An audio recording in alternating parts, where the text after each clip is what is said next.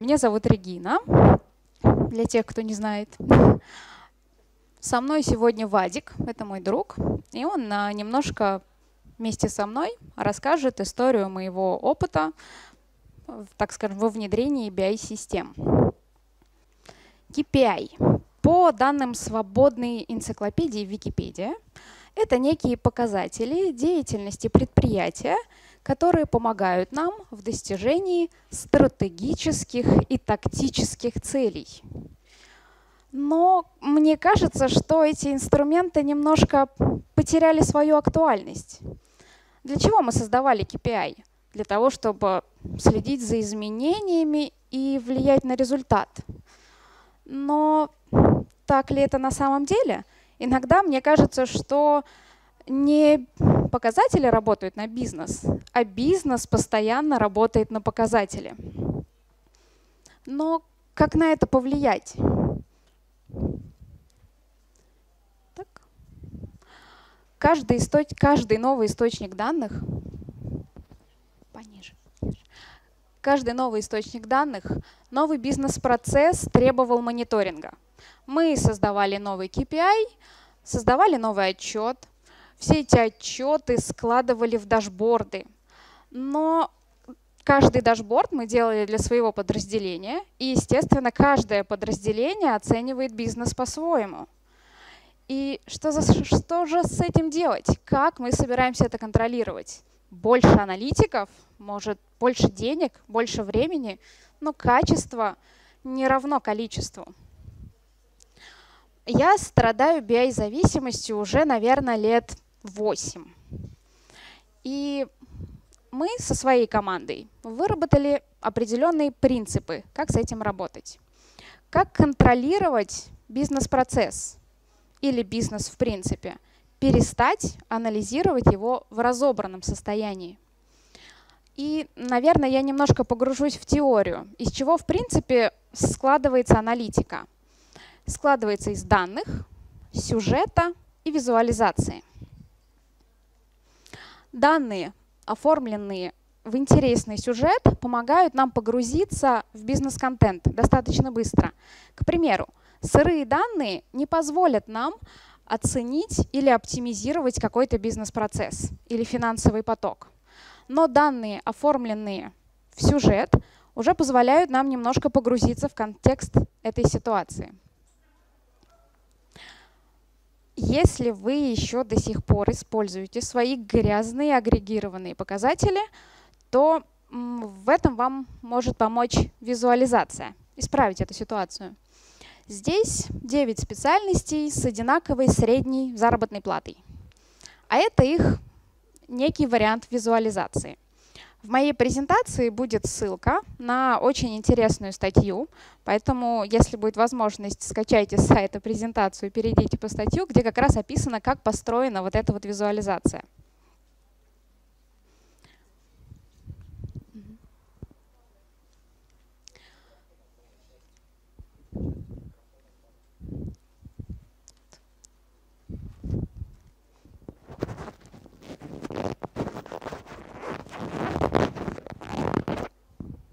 Спасибо.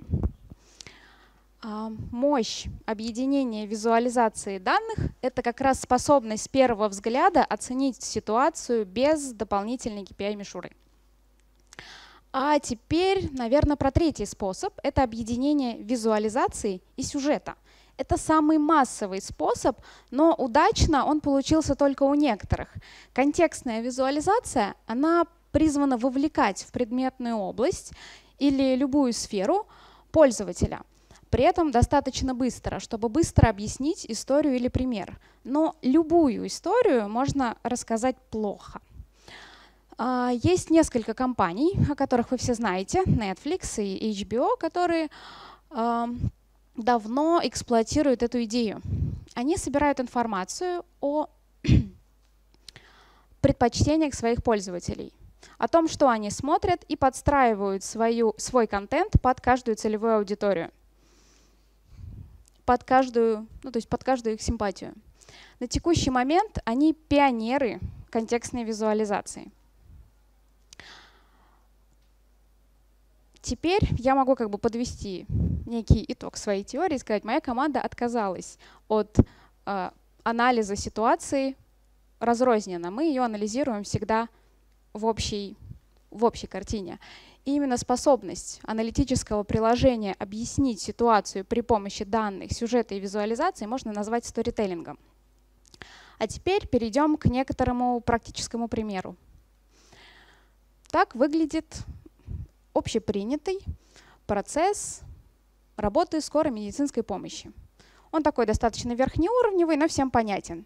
Сначала пациент вызывает, ну то есть звонит непосредственно в службу скорой помощи, диспетчер принимает его звонок, далее он классифицирует его вызов, назначает на бригаду, бригада доезжает до пациента, оказывает помощь, и тут может быть три варианта.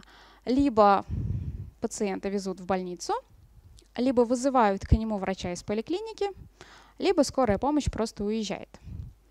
Это такой достаточно понятный процесс. И, наверное, кто может придумать, какими показателями можно его проанализировать? Там, не знаю, например, количество, да, количество вызовов.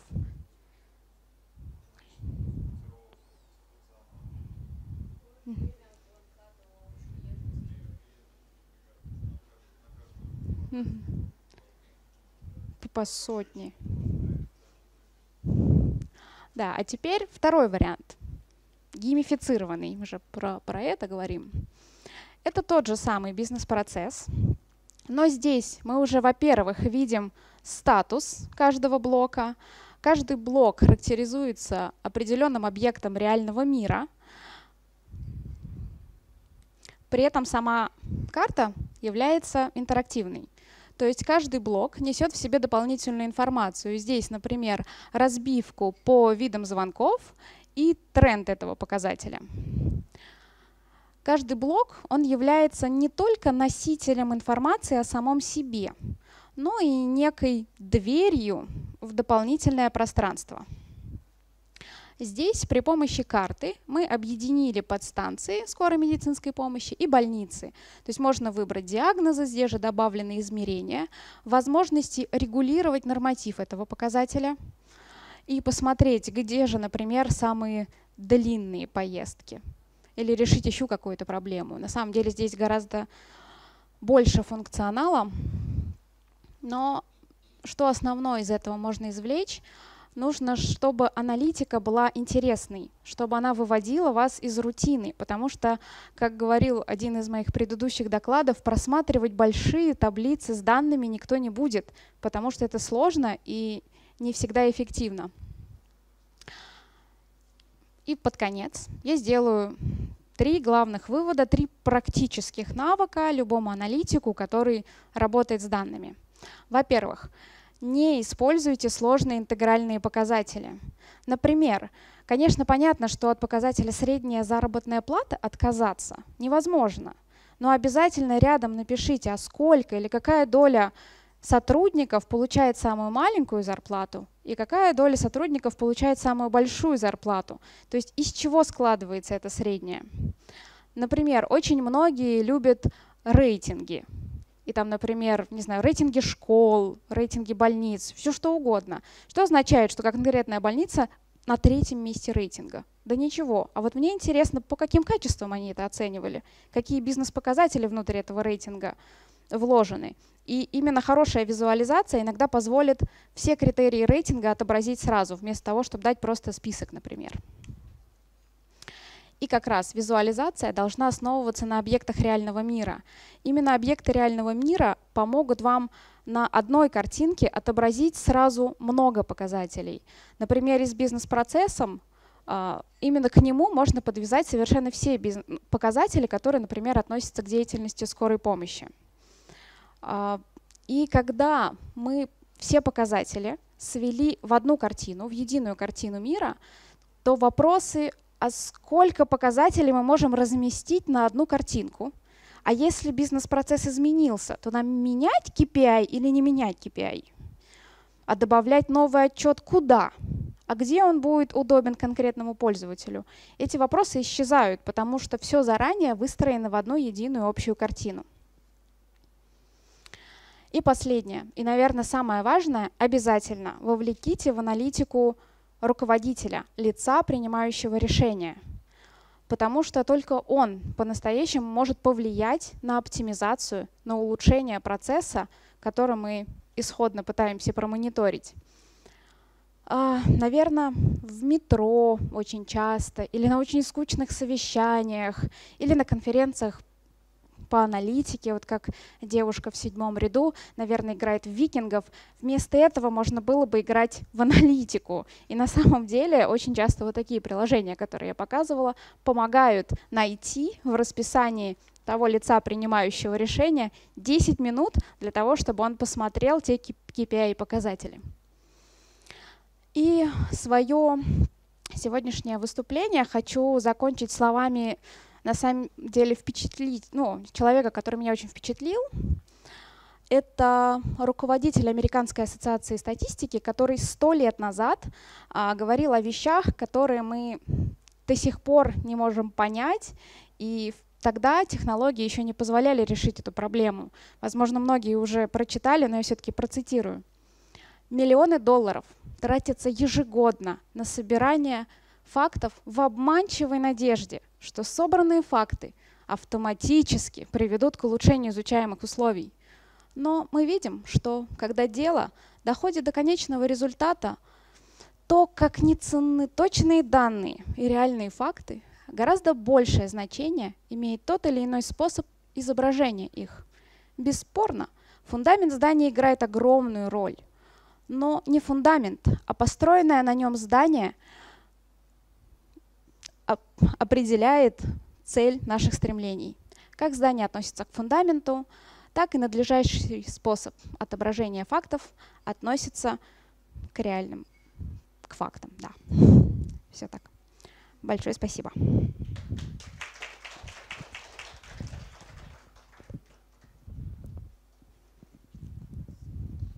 Есть какие-то вопросы? На сайте будет презентация, и там все будет ссылка. А если мне дадите свои контакты, я отправлю сама презентацию. Женя, да. Спасибо, Регина. А, у меня вопрос а, про геймификацию. А, очень красиво смотрится BI. А, я давно Ты не первый его, раз его видишь, да? Не первый, но давно не видел, он обновился, здорово. А есть ли какие-то механизмы геймификации в BI для руководителя, который должен принимать решения? Вот а, он получает какие-то там... Это как 100 голдов и щит да, подарок, да, да, да, где вот голда? Это? Я думаю, для лица, принимающего решения, эффективность от этих э, приложение и является его щитом и голдами. То есть если он понимает, что его KPI становится лучше, это ему, я думаю, тепло на душе от этого становится. И когда мне звонит э, кто-то из лиц, принимающих решения, и говорит, Регина, мне кажется, что у нас показатель неправильный, я понимаю, что работает, работает. Значит, смотрит, ищет, анализирует. Так, еще какие-то вопросы?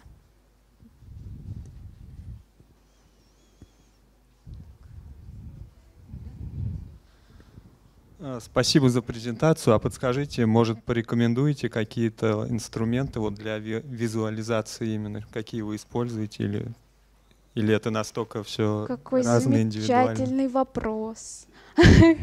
Я являюсь владельцем продукта а, российская разработка, своя биосистема, в которой есть и ETL, и визуализация обычных дашбордов в вебе, и вот инструмента для создания вот этой вот 3D-графики, которую я показывала. Поэтому, если будет интересно, я, ну, то есть вы мне подойдете, я вышлю название, потому что... Не, не open source, нет, не open source.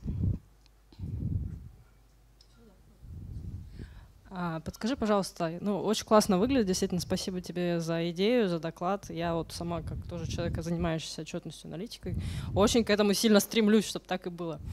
А, единственное, меня что смущает, а, ПО, ты говоришь, что это платное, вопрос стоимости. Стоимости как бы первичные вложения и поддержки. Можешь Но ответить, это во ПО... что вам это обошлось? Мне Может быть, во мы- времени. а, мне в разработку этого ПО, просто я его сама разрабатываю в этом фи- фишка, Да. да. Ну, мы его разрабатывали где-то три года и до сих пор его развиваем. Клево. А, Ваши заказчики, ну вот прям итерационно как-то поставляли ценность или, ну потому что три года ждать, на четвертый отказываться? Конечно, итерационно, да. То есть заказчику важна все-таки бизнес-цель, тот конкретный KPI. Мы ему и выдавали по чуть-чуть, по чуть-чуть, расширяя функциональность, добавляя новые отчеты, новые дашборды, новые кейсы. Да. А, Скажем так, с идеи, когда зародилась идея, с с этого момента до момента, когда поставилась самая первая ценность, которая была оценена вашим Четыре заказчиком. месяца. Три месяца? Четыре, да. Четыре месяца. Отлично, спасибо тебе за информацию. Здесь будут вопросы? Ну, учитывая нашего заказчика, у него бывают разные запросы, поэтому иногда это я сказал утром завтра, а иногда это все-таки там 4 месяца, 5. Ну, то есть до сих пор где-то такие же строки. Там от месяца, если это сильно простая история, до там 5 месяцев, если это какая, какое-то 3D-приложение, например.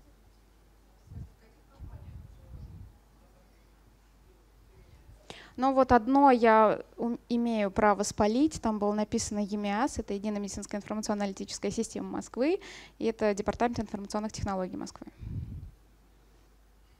Вот, то есть их я точно могу сейчас сказать. Это тестовый кейс на тестовых данных, естественно, да. Но а, реальные кейсы, примеры реальных кейсов можно посмотреть в интернете, там есть ролики с интервью, вот это все. Так, еще вопросы будут у нас?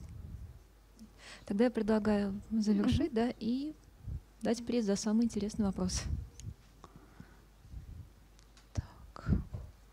Приз за самый интересный вопрос. Спасибо молодому человеку в белом свитере.